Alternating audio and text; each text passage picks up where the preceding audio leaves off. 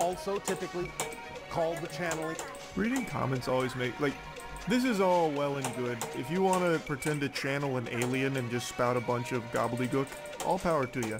But it's the comments that actually just make me feel so sad. This resonates with me very much. Bashar says out loud what has been running in my head all along. Thank you for confirming that I am receiving the right information from my higher self. Oh my god, he's been teaching us how to access flow state all this time, which is something I've wanted for a long time. On top of that, he's saying flow state is the key to manifestation. Wow. It's like he's saying to a kid the key to life is to eat cake. Lots and lots of cake. Perhaps maybe I just don't understand the gamma state. Maybe I need to lock into flow state and then I'll be able to dunk on a 10 foot hoop. Perhaps I'm not being receptive to the wisdom of Bashar, the cosmic being. Wait, Danica Patrick has a YouTube channel? And she interviewed Daryl and Bashar?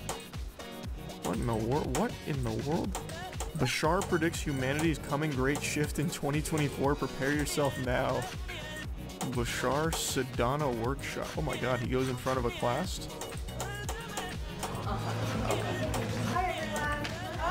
Hey!